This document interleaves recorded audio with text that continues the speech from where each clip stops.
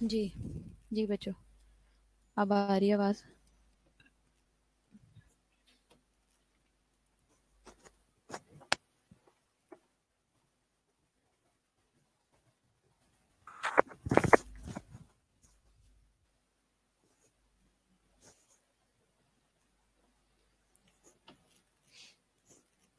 जी, आज का हमारा जो टॉपिक है, वो है मटरनल अडेप्टेशन टू प्रेगनेंसी क्या है?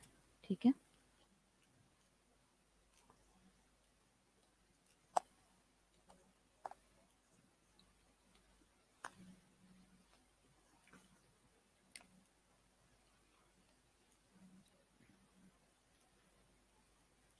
क्या है मटरनल अडेप्टेशन क्या लगता है आपको ये वर्ड सुन के?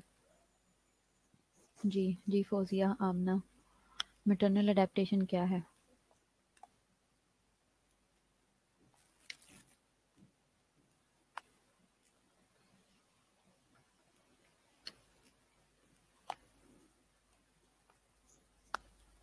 हाँ जी।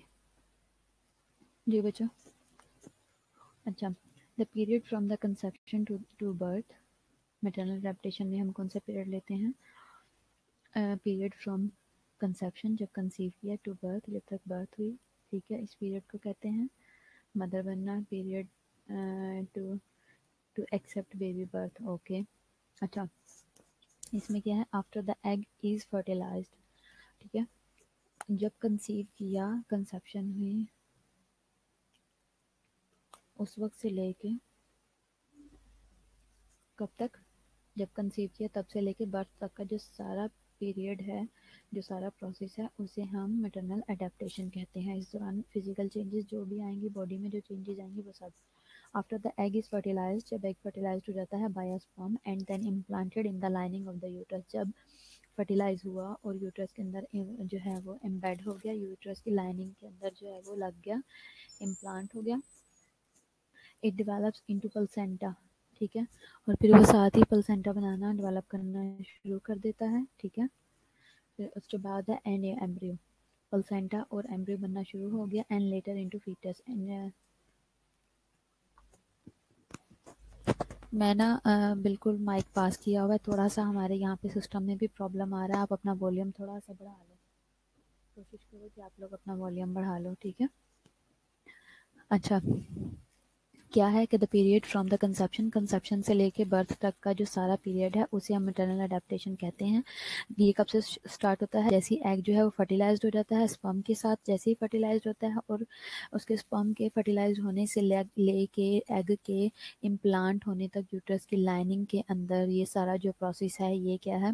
ये मेटरनल अडेप्टेशन या फर्टिलाइजेशन कहलाता है। इसके साथ ही क्या होगा कि इट डेवलप्स इनटू पलसेंटा ये फिर साथ ही पलसेंटा भी डेवलप कर देता है, ठीक है? और इसके साथ ही एंड एम्ब्रियो और फ़ौरन ही एम्ब्रियो भी जो है वो बनना शुरू हो जाता है लेटर इनटू फीटस और फिर वक्त के साथ साथ जो है वो फीटस में कन्वर्ट हो जाता है, ठीक है? फिर उसके बाद है pregnancy usually last forty weeks pregnancy usually जो है वो फोर्टी वीक्स तक पे एंड होती है beginning from the first day of the women's last menstrual period और स्टार्ट कब से होती है? First day of last menstrual period जो लास्ट उसको मेंसेज हुआ, उसके फ़र्स्ट डे से जो होता है, वो फ़र्स्ट डे उसका काउंट किया जाता है और एंड कहाँ पे होता है? जो उसका फोर्टी वीक होता है उस पर and is divided into three trimesters ठीक है? कब, कहाँ पे डिवाइड कितने हिस्सों में डिवाइड किया गया प्रेगनेंसी प्रेगनेंसी को? थ्री ट्राइमेस्टर्स में किया गया है। Each lasting three months three three months के थ्री थ्री मंथ्स के जो हैं टोटल कितने सेमेस्टर्स होते हैं? ट्राइमेस्टर्स होते हैं। ये जो हैं, तीन होते हैं ट्राइमेस्टर्स ठीक है? ट्राई का मतलब है तीन। तो ट्राइमेस्टर्स होते हैं तीन। फिजियोलॉजिकल चेंजेस क्या होती हैं during pregnancy first of all क्या है रिप्रोडक्टिव सिस्टम होगा। उसमें क्या है चेंजेस इन द यूट्रस क्या आएगी? First of all by the twelve week यानी कि जो थर्ड मंथ थ्री मंथ्स होते हैं, उसमें uterus rises out of the pelvic cavity and becomes upright और अपराइट होना शुरू होती है, अपने साइज़ से बढ़ना शुरू हो जाती है और अपराइट हो जाती है पोजिशन के अंदर, ठीक है? और इसके अलावा इसके अलावा, अब फ़र्स्ट थ्री मंथ्स में मैंने आपको कहा था कि बेबी सिर्फ़ बनता है। ग्रो नहीं करता, सिर्फ़ अपने, सिर्फ़ अपनी शेप के अंदर आता है, शेप और अपनी अपनी जो है एक्चुअल फेस शक्ल लेता है, अपनी एक्चुअल बॉडी लेता है, ठीक है? लेकिन अभी सिर्फ़ बन रहा होता है, वो बढ़ता नहीं है अपने साइज़ में ट्वेल्व वीक्स तक, ठीक हो गया? फिर उसके बाद by the sixteen week it is midway between umbilical and symphysis pubis midway में होता है किसके? अम्लाइकस के अंदर और सिंपसिस प्यूबस के अंदर. By twenty week it is just below the umbilicus और जैसे ही ट्वेंटी वीक स्टार्ट होता है, यानी कि कितना होगा? फिफ्थ वीक होगा, ठीक है? फिफ्थ वीक फिफ्थ मंथ होगा सॉरी फिफ्थ मंथ के ऊपर ये बिलो द अम्लाइकस होता है। और उसके बाद ट्वेंटी फोर में, यानी कि सिक्स वीक पे ये कितने पे होगा? एट द अम्लाइकस से, जो जैसे ही ट्वेंटी फोर वीक यानी कि सेवन मंथ पे आता है, ये अम्लाइकस पे आ जाता है, और थर्टियथ वीक पे। जब सेवन वीक आ जाता है, ठीक है? तो ये किस पे होता है? Midway between the umbilicus and the xiphoid sternum ठीक है? अम्लाइकस और स्तनम के दरमियान में आ जाता है, यानी कि डायफ्राम के आसपास होता है होता है। After 38 week lightening occurs and the foetus sinks down and the fundus can be palpated below the level of the xiphisternum ठीक है? जैसे ही 38 वीक शुरू होता है लाइटनिंग होना शुरू हो जाती है। लाइटनिंग का क्या मतलब है? कि आप ये देख सकते हो कि जो एट्थ वीक है सेवन्थ वीक कितना होगा? ट्वेंटी फोर वीक पे जो है ये अमलाइकस के ऊपर आ रहा था ट्वेंटी फोर वीक्स पे, ठीक है? ट्वेंटी फोर वीक्स में जब ये हम अमलाइकस के ऊपर है तो इसका मतलब है कि ये सिक्स वीक चल रहा है।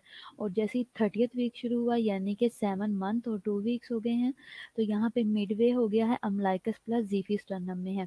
ये पिक्चर में आप देख सकते हो कि ये अमलाइकस और जो जीफॉइड स्टर्नम है, उसके दरमियान का पार्ट है, यानी कि डायाफ्राम का है, और इस दौरान सेवन मंथ जैसे ही शुरू होता है तो फीमेल जब चलती है तो उसको सांस चढ़ना शुरू हो जाता है, उसके लिए चलना मुश्किल हो जाता है। ठीक है? तो इसके बाद आफ्टर थर्टी एट वीक जैसे ही थर्टी एट वीक वो क्रॉस कर लेता है, यानी कि थर्टी एट वीक कौन सा होगा इसका?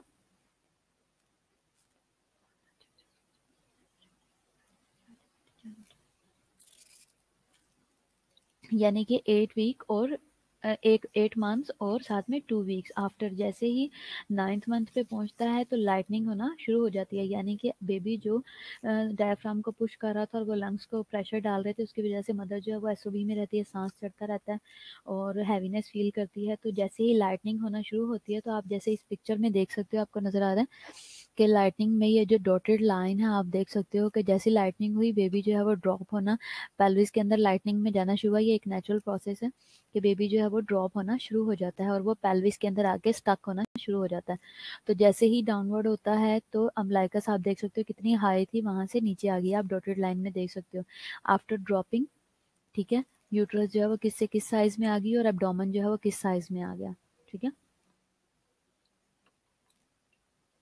आफ्टर थर्टी एट वीक्स होने के लाइटनिंग अकर हो जाती है और फीटस जो है वो सिंक डाउन हो जाता है, नीचे की तरफ़ आना शुरू हो जाता है और fundus can be palpated fundus जो है वो पेल्पेटेबल होती है।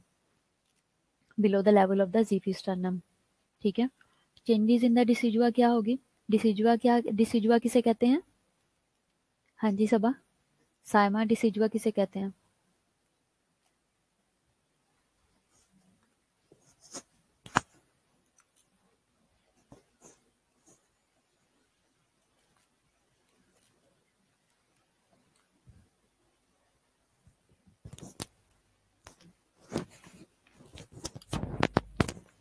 हाँ जी डिसीजुआ किसे कहते हैं? अच्छा डिसीजुआ जो है वो प्रेग्नेंट यूट्रस को कहा जाता है। Decidua is the is the name given to the endometrium during pregnancy endometrium की जो लाइनिंग होती है ड्यूरिंग प्रेगनेंसी जो थिक यूट्रस होती है, उसे डिसीजुआ बोला जाता है। इस्ट्रोजन और progesterone produced by corpus luteum causes the decidua to अच्छा जो ईस्ट्रोजन और प्रोजेस्ट्रॉन होते हैं। हाँ मरियम, ठीक कह रही हो आप। एस्ट्रोजन अब आवाज़ ठीक आ रही है? एक्चुअली ना हॉल के अंदर और भी लोग लेक्चर ले रहे हैं, मैं बहुत ऊँचा बोल रही हूँ, फिर भी आपके पास आवाज़ इतनी आ रही है। ईस्ट्रोजन और प्रोजेस्ट्रोन जो है, वो प्रोड्यूस करते हैं कॉर्पस ल्यूटम को, ठीक है? कॉर्पस ल्यूटम क्या करता है? ये कॉज करता है डिसीजवा को कि ये क्या करे टू बिकम थिकर थिक होना शुरू हो जाए। थिक इसलिए होती है ताकि बेबी को अच्छे से होल्ड कर सके और मोर वेस्कुलर और मोर वेस्कुलर हो जाती है at the fundus and and in the upper body of the uterus में। ठीक है? ज़्यादा थिक हो जाती है और ज़्यादा वेस्कुलर हो जाती है ताकि ब्लड सप्लाई अच्छे से करवा सके। ये आप देख सकते हो, जैसे कि पिक्चर में शो हो रहा है। चेंजेस इन मायोमीट्रियम है, किस तरह से होंगी? It is made up of smooth muscle fibres है।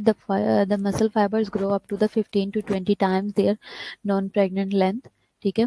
हाइपरट्रॉफिक होगी और इसके अलावा हाइपरप्लेजिया ऑफ़ द मसल्स होगी occurs due to oestrogen and progesterone weight जो है वो seven fifty to thousand grams होगा and capacity of the uterus increases fifty M L to five litres हो जाएगी। चेंजेस इन फ्लोपियन ट्यूब्स कैसी होंगी? The fallopian tubes on either side are more stretched out in pregnancy and is much more vascular हो गए ठीक है? Chadwick sign क्या है? The cervix becomes more vascular होगी और ब्लूइश होगी डिस्कलरेशन होगी नॉन एज चैडविक साइन होगा, ठीक है? इसके अलावा हम गुडल साइंस में क्या देखेंगे? सोपनिंग ऑफ़ द सर्विक्स होगी नॉन एज गुडल साइन और सियंडर साइन में क्या होगा? Presence of the pulsation at the fornix of vagina known as Osiander sign ठीक है? ये चेंजेस हैं वजाइना में। ये क्या होगी? Oestrogen causes changes in the muscle layer and the epithelial layer of the vagina the muscle layer hypertrophies हो जाएगा और capacity of the vagina increase हो जाएगी ताकि बेबी को डिलीवर करने में आसानी हो। चेंजेस इन द ओवरीज क्या होगी? Due to increase oestrogen and progesterone there is decrease in the level of the follicle stimulating hormone and luteinizing hormone resulting in inhibition of maturation and release of the Graafian follicle resulting in amenorrhoea ठीक है?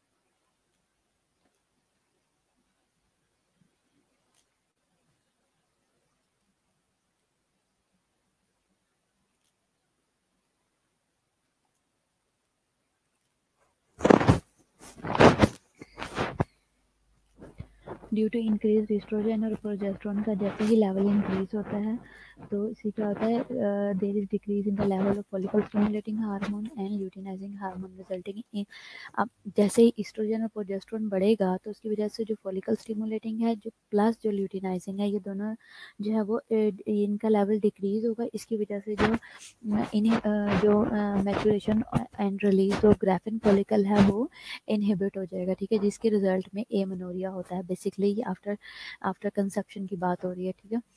Cardiovascular changes क्या system किस तरीके से affected होता है जब हम, जब पेशेंट जो है वो कंसीव करता है?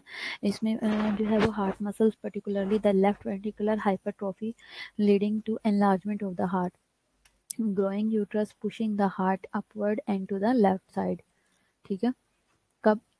जब एट सेवन से एट वीक्स में होता है seven to eight week start होता है तो जो यूट्रस है वो पुश करती है डायफ्राम को प्लस जो है वो हार्ट को ठीक है? डायफ्राम को जब पुश करती है तो लंग्स के ऊपर भी प्रेशर पड़ता है और प्लस हार्ट पे भी प्रेशर पड़ता है। The stroke volume increase from 65 ml per beat to 75 ml per beat. The pulse rate increases from 70 beats per minute uh, to 85 beats per minute हो जाता है। अब देखो कि मैंने आपको कहा है कि पेशेंट जो है वो उसको एस होता है और पेशेंट जो है वो एस भी फील करता है। लेकिन आप ये देखो कि इसके साथ साथ पेशेंट क्या फील करेगा कि उसका हार्ट रेट भी इंक्रीज होगा।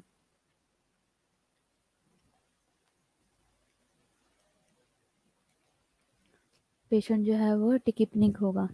पेशेंट जो है वो उसको सांस प्लस हार्ट रेट दोनों में प्रॉब्लम होगी। Cardiac output increase from five litre per minute to seven litre per minute में कन्वर्ट हो जाएगा। वीनस प्रेशर जो है वो इंक्रीज हो जाएगा एट टू टेन जो है वो eight to ten to zero to twenty में। ब्लड जो है विस्कोसिटी डिक्रीज हो जाएगी four point seven to three point eight हो जाएगी। ब्लड वॉल्यूम इंक्रीज हो जाएगा four thousand to four thousand M L से लेके fifty five hundred M L तक। ब्लड वॉल्यूम इंक्रीज हो गया है प्लाज्मा वॉल्यूम भी इंक्रीज हो जाएगा। रेस्पिरेटरी सिस्टम में क्या है? The anterior posterior diameter of the chest increase to two centimetre displacement of diaphragm by four centimetre respiratory rate जो है वो राइज हो जाएगा eighteen to twenty per minute फिर उसके बाद क्या होगा? इंस्पायरेटरी कैपेसिटी जो है वो भी इंक्रीज हो जाएगी। एक्सपायरेटरी वॉल्यूम जो है वो तो क्या होगा, वो डिक्रीज हो जाएगा सेवन टू अलेवन लीटर तक इन लेटर वीक्स और टाइडल वॉल्यूम इंक्रीज हो जाएगा forty percent residual volume decrease होगा। कार्बन डाइऑक्साइड टेंशन जो है वो twenty seven to thirty two हो जाएगी और ऑक्सीजन कंजप्शन जो है वो भी इंक्रीज हो जाएगी और सी ओ टू प्रोडक्शन भी इंक्रीज हो जाएगी। सी ओ टू क्यों हो रही है इंक्रीज पेशेंट हाइपर वेंटिलेट कर रहा है पेशेंट जो है वो ओवर ब्रीथ कर रहा है, जिसकी वजह से सी ओ टू जो है वो उसकी प्रोडक्शन रही है प्लस वो रिटेन कर रहा। है गैस्ट्रो इंटेस्टाइनल सिस्टम उसके बाद कैसे इफेक्टेड होता है? गम्स बिकम एडिमाटोज हो जाते हैं सॉफ्ट हो जाते हैं स्पंजी हो जाते हैं can bleed with the toothbrush ठीक है? तो इनको जो प्रेग्नेंट लेडी है there is increase in the salivation हो जाती है नॉन एज पैटिलिज्म ठीक है? क्या है किन लोगों को होता है? जो जब वो कंसीव कर लेते हैं, इस तरह के साइंस आते हैं। इसके अलावा फोर टू एट वीक्स में women complaints of nausea and vomiting known as morning four to eight week four to eight weeks के अंदर जो है वो नोजिया वॉमिटिंग की कंप्लेंट होती है। हाइपरएमेसिस ग्रेविडेरम भी होता है कुछ लोगों को। बहुत ज़्यादा वॉमिटिंग होती है। इसके अलावा क्या है? डिक्रीज पेरिस्टाल्टिक मूवमेंट जो है वो डिक्रीज हो जाती है। कॉन्स्टिपेटेड होते हैं कॉन्स्टिपेशन की कंप्लेंट करते हैं, पिका की कंप्लेंट करते हैं gall bladder increase in size and empties more slowly during pregnancy जो गॉल ब्लैडर है, वो भी अपने साइज़ में बढ़ जाता है और बहुत लेट एम्प्टी होता है। बाल्स उसके अंदर जो है वो ठहरना शुरू हो जाती है हार्ट बर्न होता है डाइजेशन कम हो गई ठीक है? अब आप देखो कि ना बाइल बन रही है, ना वो डाइजेशन करा रही है हार्ट बर्न हो रहा है डाइजेस्ट गैस्ट्रिक जूसीज ही नहीं प्रॉपर बन रहे हैं, वो अंदर ही स्टमक को ही डिस्टर्ब कर रहे हैं। इसके अलावा कॉन्स्टिपेशन की कंप्लेंट कर रहा है पेशेंट इंटेग्योमेंट्री सिस्टम है इसमें पिगमेंटेशन इन प्रेग्नेंट वुमेन है from the end of the second month till term लोगों को प्रेगनेंसी से ही स्टार्ट होती है फिर फुल टर्म तक चलती है मिलाजमा ठीक है chloasma and the mask of pregnancy ये तमाम चीज़ें प्रेगनेंसी में होती हैं। लीना ने, नेग्रा ये क्या है? आप देख सकते हो जिस तरह से इस ये जो साइंस होते हैं लीना एल्बा है स्ट्राई ग्रेविडेरम है। ठीक है, ये जो स्ट्राई के साइंस होते हैं वेस्कुलर स्पाइडर्स हैं नेवी हैं ऑल्सो नॉन एज एनजियोमा ये जो बारीक बारीक सी वेन्स हैं, इन्हें स्पाइडर कहते हैं स्पाइडर वेन्स कहते हैं।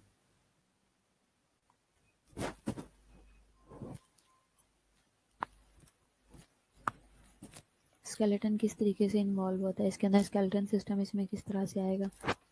Hormone relaxin increase pelvic capacity that helps in labour process ठीक है?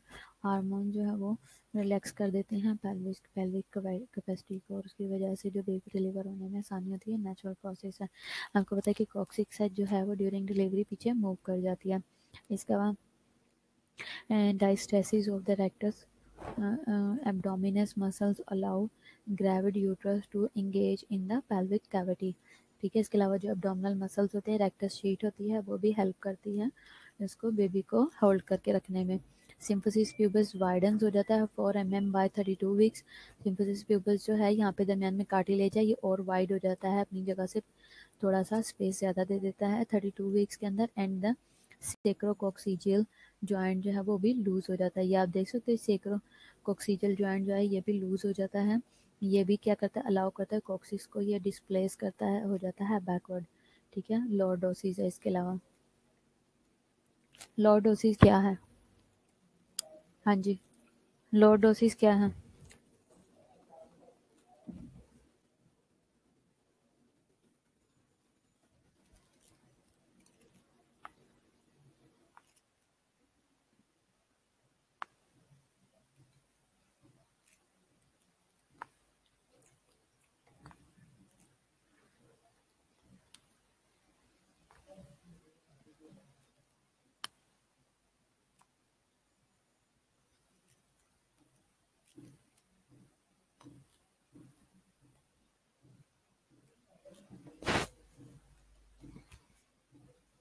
Lateral curvature of the lumbar spine हाँ जी, मरियम, ठीक कह रहे हो।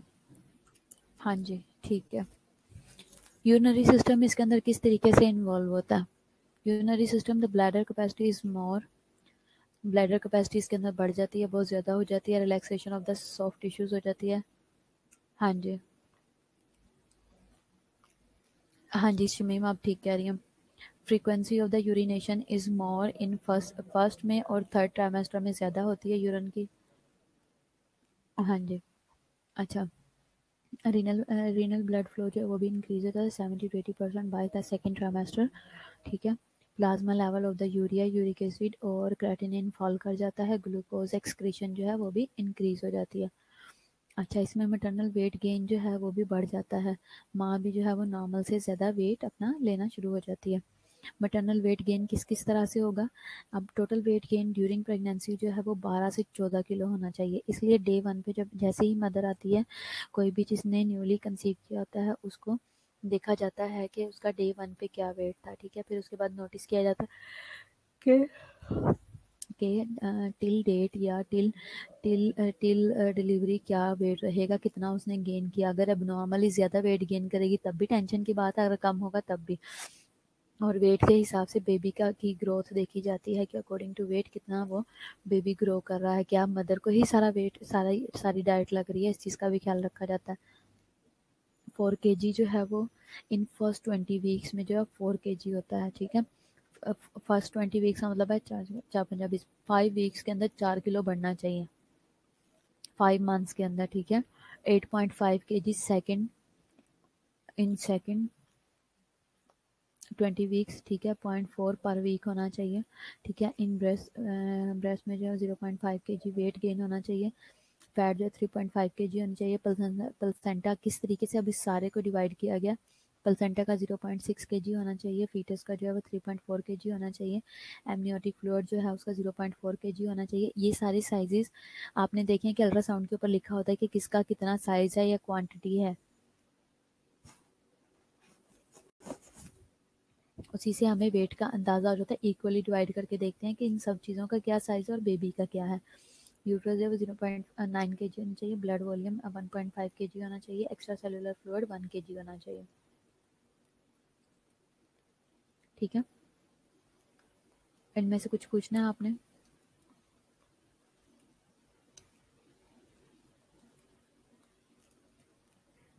आपने देखा है कि ब्लैडर कैपेसिटी उन्होंने क्या कि बढ़ जाती है, ठीक है?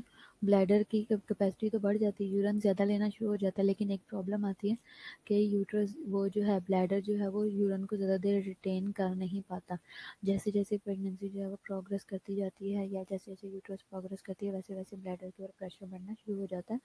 तो जैसे ही seven to eight month start होता है मदर जो है, वो कफ भी करे तो उनको मिक्चुरेशन हो जाती है यूरन पास हो जाता है, और कफ करे या हंसे तो यूरन निकल जाता है relaxation of the soft tissues हो जाती है सॉफ्ट टिश्यूज़ रिलैक्स हो जाते हैं ऑटोमेटिक यूरिन पास कर देते हैं। फ्रीक्वेंसी ऑफ़ यूरिनेशन बढ़ जाती है। एक तो फ़र्स्ट वीक में होगा फ़र्स्ट स्टार्ट में होगा कि फ्रीक्वेंसी हो गई है बढ़ गई है और फिर उसके बाद किसमें बढ़ जाती है? हम्म, क्या कहते हैं? इसके बाद जैसे ही यूट्रस का साइज़ बढ़ना शुरू होता है ब्लैडर का प्रेशर बढ़ता है उसकी वजह से भी फ्रीक्वेंसी बढ़ जाती है। हाँ जी इसमें आप लोग कुछ ऐड करना चाहते हैं?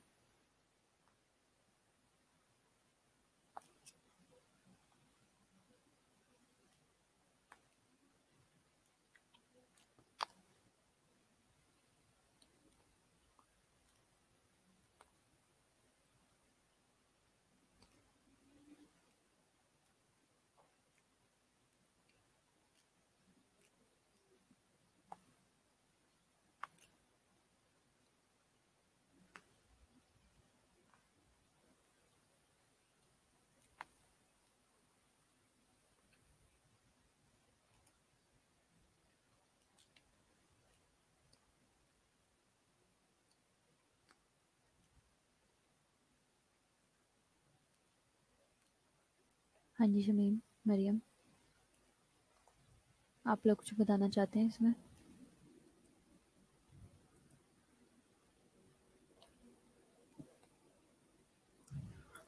Plasma level of urea, uric acid और क्रेटिनाइन क्रेटिनिन फॉल क्यों करेगा? ग्लूकोज के एक्सक्रीशन ज़्यादा क्यों हो जाएगा?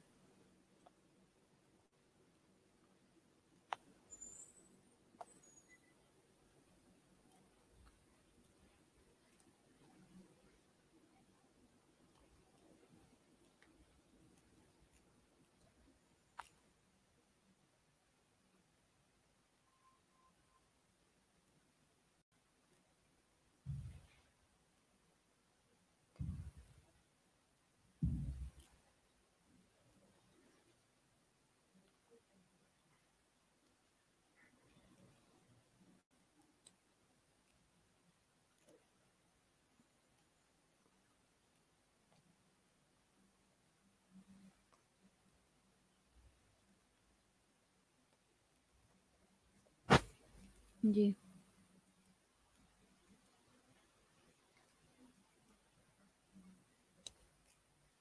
ये जो है स्लाइड इसके अंदर आपके बहुत सारे क्वेश्चन आ सकते हैं।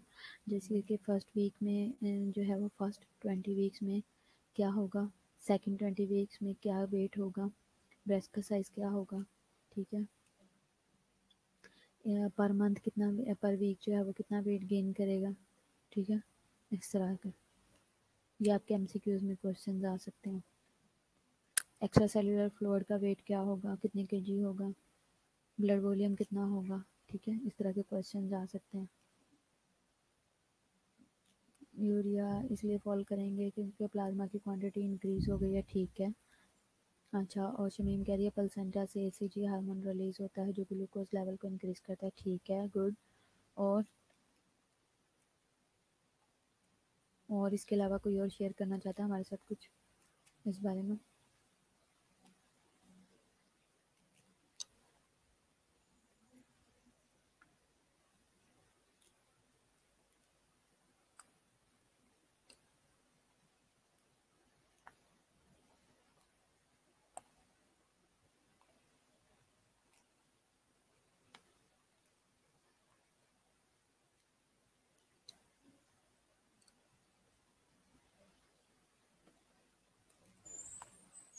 जी।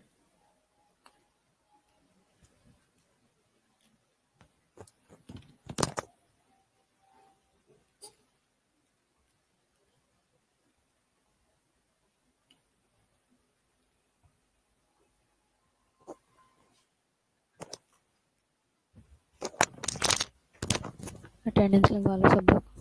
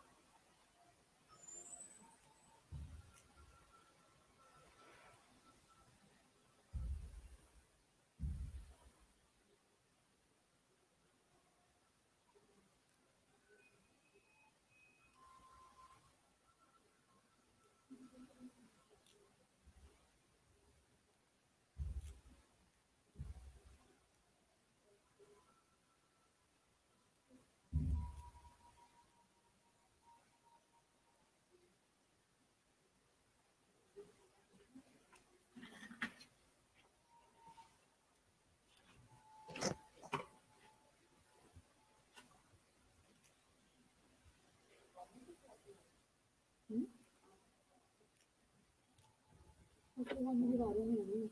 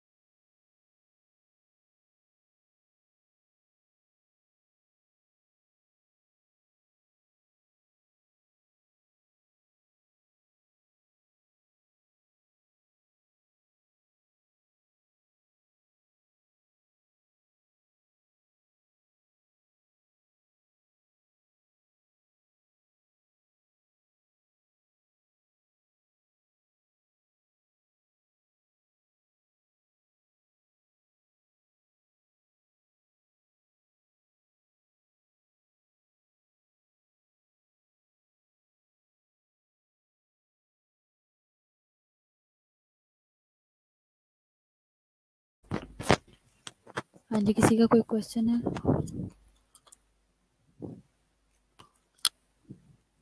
जी, समझ आ गई सबको? कोई कुछ पूछना चाहे तो आप पूछ सकते हैं।